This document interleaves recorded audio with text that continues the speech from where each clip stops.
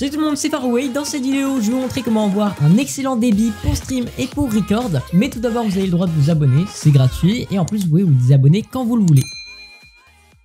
Bon bah let's go, on va commencer direct. Donc déjà, le meilleur logiciel pour stream, je ferai une vidéo euh, plus tard pour vous expliquer quelle est la différence entre les différents meilleurs logiciels. Mais pour l'instant, je vous conseille d'utiliser Open Broadcaster. Pour le stream, c'est mieux d'utiliser Streamlabs OBS, c'est encore mieux. Alors pour télécharger Streamlabs OBS, déjà vous avez un lien dans la description, mais sinon vous pouvez très bien cliquer euh, et écrire Streamlabs OBS. Vous allez sur le premier lien et voilà, tout simplement vous cliquez sur Download ou ici Free Download et ça va pas être compliqué, ça, va s'installer tout de suite. Sinon, vous utilisez OBS, on va faire pour les deux. Euh, voilà, donc Open Broadcaster, c'est le meilleur. Donc on va utiliser téléchargement de OBS. Et voilà, vous téléchargez immédiatement OBS ici en fonction de ce que vous avez. Euh, pour savoir si votre PC est un 32 bits, vous allez sur votre version de Windows. Donc pour cela, vous tapez paramètres. Ensuite, vous allez faire système qui est juste ici. Et vous allez dans information système. Donc c'est juste ici. Et voilà, vous avez vos composants juste ici. Donc, il faut juste trouver si c'est un 64 bits, donc c'est écrit ici, ou si c'est un 32 bits, donc système d'exploitation 64 bits pour moi. Euh, si c'est écrit 32 bits, c'est simple, vous choisissez en fonction de ce que vous avez pris. Voilà, donc moi, du coup, ce serait plus euh, le 64 bits, donc le premier que j'installerai. Pour les autres, le 32 bits, ce serait plutôt celui-là. Pas d'inquiétude, c'est pas un virus, c'est un truc qui est vraiment très connu pour, ça, pour que vous sachiez un petit peu. OBS, c'est une entreprise qui a fait un chiffre d'affaires de, je crois, euh, de milliards de dollars, donc c'est vraiment pas une petite entreprise, c'est pas une connerie. Après, faites attention à pas vous tromper de site, hein. vous regardez bien le lien qui est en haut, ou sinon vous cliquez dans le lien en description. Bon, ensuite on se retrouve sur cette application, donc là, bon bah, je suis en train de record, et on va pouvoir regarder euh, quel débit j'ai mis pour le stream. Avant, il faut savoir que mon débit ne sera pas forcément très adéquat pour vous, il faut régler en fonction de votre connexion et pas en fonction de la mienne. Donc ça sert vraiment à rien que je vous montre moi ma connexion, alors que je vous montre le débit que j'ai mis, mais je vais quand même vous le montrer parce que je sais qu'il y en a qui voudront quand même savoir. Donc pour le débit vidéo, c'est simple, j'ai mis du 2500 euh, kilobits, euh, kilobits par seconde. Il faut savoir que ce serait complètement con de mettre ça pour du stream.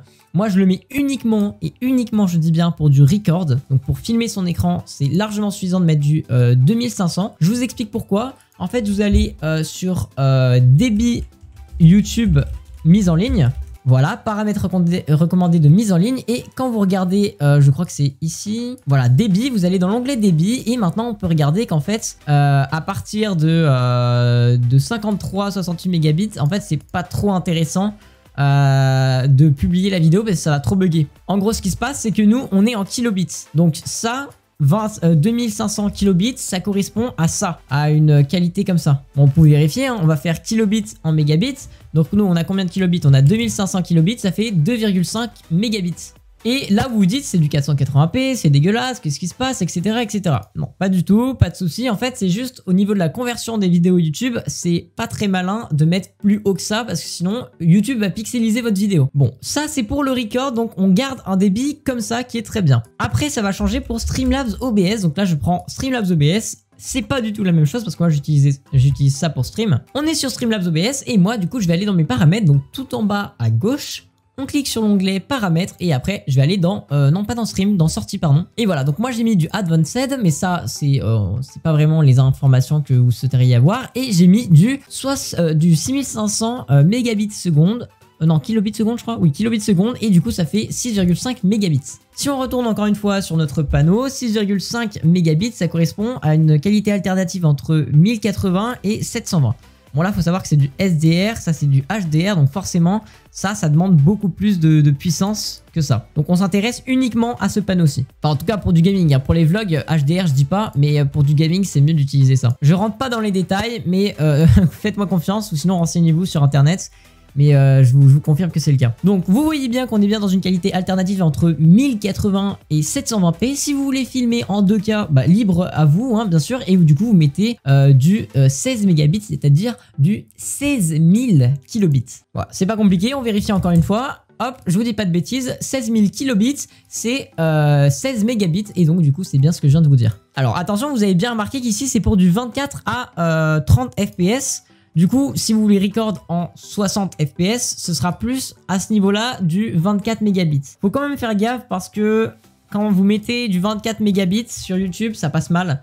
Euh, je sais pas, oui c'est l'aide YouTube, pourtant ça passe pas très bien euh, de mon expérience à moi. Donc je vous conseille de mettre quand même la plupart du temps un petit peu moins. Euh, moi, ce que je vous conseille pour du 1480, 1440p et du ouais, un 60 fps, moi je mettrais du, du, allez, du 18, 18 mégabits seconde.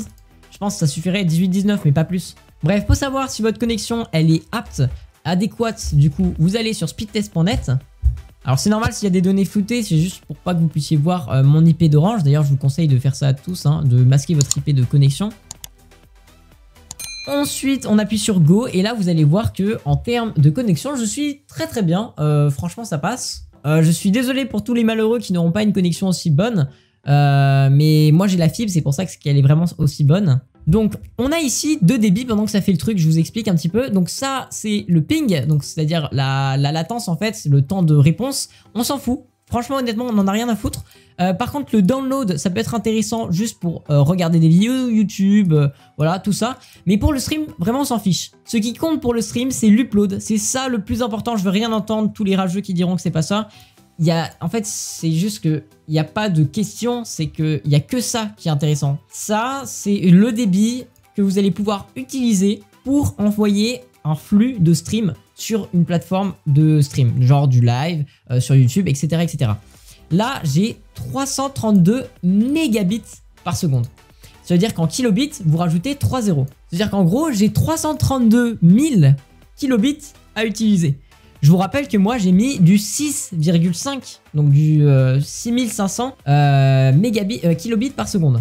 encore une fois, hein, je vous fais vérifier ce que je dis. 3030, 330 mégabits, c'est bien 330 000 kilobits. Pourquoi je ne mets pas 330 000 kilobits sur ma plateforme de stream? C'est très simple. Si je mettais ici du 3300 kilobits, bah déjà, il serait en train de crash mon logiciel parce que je n'ai absolument pas les composants qui permettent de faire ça et je pense que personne ici n'a les moyens de faire euh, un record avec ça. C'est absolument impossible, c'est beaucoup trop puissant, à moins d'avoir deux cartes graphiques euh, et limite avoir une tour spécifiquement pour ce débit. Parce que là, c'est vraiment très violent un débit comme ça. Hein. Euh, votre PC va clairement mourir si vous faites ça. Par contre, enfin il va surchauffer mais c'est tout. Par contre du coup le problème c'est que si vous utilisez tout votre débit de stream disponible, bah, ce qui est assez con quand même, c'est que vous en aurez plus pour vous. C'est-à-dire que si vous utilisez tout votre donnée d'upload, ça va avoir des, des répercussions négatives sur votre ping et sur votre download. Donc ça, je sais pas du tout à quoi c'est dû, mais en tout cas, c'est physique. Euh, si vous utilisez tout votre débit de stream, bah forcément, vous en aurez plus pour jouer sur les jeux.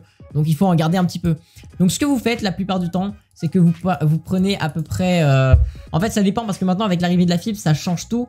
Mais euh, globalement, si vous avez une connexion entre 1 Enfin, déjà, si vous avez une connexion entre 0 et 1 ici, bah, vous pouvez pas stream.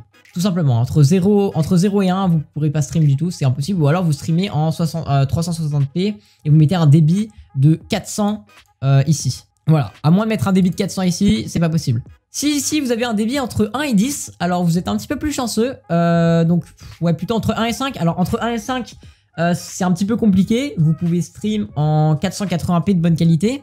Du 720p, ça va être compliqué, sauf si vous voulez lag sur les jeux. Mais voilà. En, d'autres termes, en gros, si vous êtes entre 1 et 5 de, débit, vous allez mettre du 1200. Hein. Du 1200 et encore, 1200, c'est quand même beaucoup. Ensuite, si vous êtes entre 5 et 10, là vous allez pouvoir stream en 720p, pas en 60 fps, mais en 720p, c'est déjà ça. Donc, bah, ce que vous pouvez faire, c'est tout simplement mettre du 3000 de débit. Je pense que ça passera. Si ça passe pas, ça peut dépendre des gens. Vous mettez du 2500.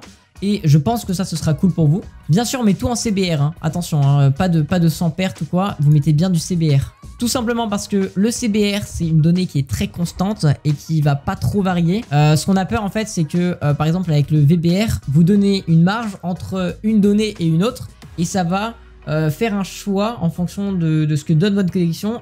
Genre par exemple, si vous dites, vas-y tu peux y aller entre 1000 euh, de débit et 3000 euh, de débit. Bah à des moments il va être à 1000, à des moments il va être à 3000, à des moments il va être à 2000, ça va être pas constant comme stream, ça va pas être très joli à regarder. Si vous êtes en CBR et que vous dites tu vas à 2500 quoi qu'il en coûte, il ira à 2500 quoi qu'il en coûte. Même si c'est quitte à faire crash votre stream, mais il ira à 2500. Le sans perte, alors en soi, pour euh, faire une vidéo, c'est très très bien le sans perte. Hein. C'est juste que ça va être des gros dossiers de gigas qui vont se former. Par contre, le problème, c'est qu'en stream, euh, ça va être pixelisé. Hein. C'est beaucoup trop fort pour YouTube. Hein. Je vous rappelle que YouTube, en termes de support, il peut pas supporter plus que ça. Euh, et, encore, et encore ça, il le supporte pas, il ment un peu. Euh, mais si vous lui foutez euh, un truc aussi violent, ouais, du sans perte, ça passera pas. Moi, je vous dis, j'ai déjà fait l'expérience, ça passe pas. Après, peut-être que les choses ont évolué. Hein. Au moment où vous regardez la vidéo, vous pouvez toujours tester, rien ne vous l'interdit. Ensuite, pour les gens qui ont une connexion entre 10 et 20 mégabits, entre 20 et 30 ou plus, là, pas de souci à se poser. ouais, entre 10 et 20, vous mettez du 4500. Donc, hop, je reviens sur ma petite feuille. Hop, vous mettez du 4500. Euh, si ça marche bien et que vous n'avez pas trop de problèmes, vous passez en 6500 et vous posez pas de questions. 6500, on rappelle, hein, c'est 6,1. Ça veut dire que ça fait c'est entre bah, 6,1 ici. Hein. Là, je suis à 332. C'est entre 6,1. Donc logiquement, si vous avez 10 mégabits par seconde, euh, vous pouvez mettre du 6,1. Le, problème, 6,5 pardon. Le problème, c'est juste que euh, ça a beaucoup tiré sur votre connexion et que vous aurez plus assez de connexion pour jouer au jeu. C'est ce que j'expliquais tout à l'heure. Ça va se répercuter sur les autres données. Donc, euh, mettez jamais plus de la moitié si vous voulez être vraiment sûr que ça marche bien. Après, libre à vous de faire ce que vous voulez. Hein. Moi, je, vous donne juste des conseils. Mais voilà, moi, c'est ce que je vous conseille. Ça fait longtemps que je suis sur YouTube. Je vous dis comment ça se passe. Euh, en termes de qualité, vous mettez qualité normale. Parce que si vous mettez qualité maximale, euh, en termes de FPS, ça va pas être fou. Surtout si vous faites du gaming, ça va pas être fou. Si vous mettez performance maximale, alors c'est très bien pour les FPS, c'est très agréable à regarder. Par contre, ça pixelise. Donc, euh, bah oui, parce que YouTube, je vous rappelle qu'en termes de FPS, ils sont pas très forts. À la différence de Twitch, par exemple. Mais par contre, ça va surtout aussi se répercuter sur la qualité d'image qui va, qui va se régresser. Donc, elle va diminuer. Voilà, faible latence, on s'en fout. Enfin, tout ça, en fait, tout ça, c'est des petits trucs en plus. Après, ça dépend de, vous, mais la plupart du temps, qualité, c'est ce qu'il faut privilégier à la performance. Hein. Euh, la qualité c'est vraiment le plus important. Enfin après moi c'est mon point de vue. Hein. Voilà après vous mettez profil height. Il y a des gens qui auront beaucoup de problèmes s'ils ont un processeur de merde. Euh, vous mettez du main, hein, euh, voire du baseline pour ceux qui ont un processeur vraiment merdique. mais sinon vous mettez main ou height. Franchement main ou height c'est les deux meilleurs. Bien sûr bah, c'est le haut, c'est le plus fort. mais main bah on va dire que c'est normal quoi. C'est le principal. Voilà et puis écoutez c'est bon hein, je crois que je vous ai tout dit. Euh, bah, j'espère que cette vidéo vous aura plu. Si vous avez bien tout compris, que tout s'est bien passé, voilà, vous n'hésitez pas pardon, à vous abonner à la chaîne. Donc hop, on tape ici Far Away. Bah non, même pas en fait, vous avez une petite animation là qui monte, voilà, et vous abonnez. Sur ce, j'espère que cette vidéo vous aura plu. Salut tout le monde, c'était Far Away, bye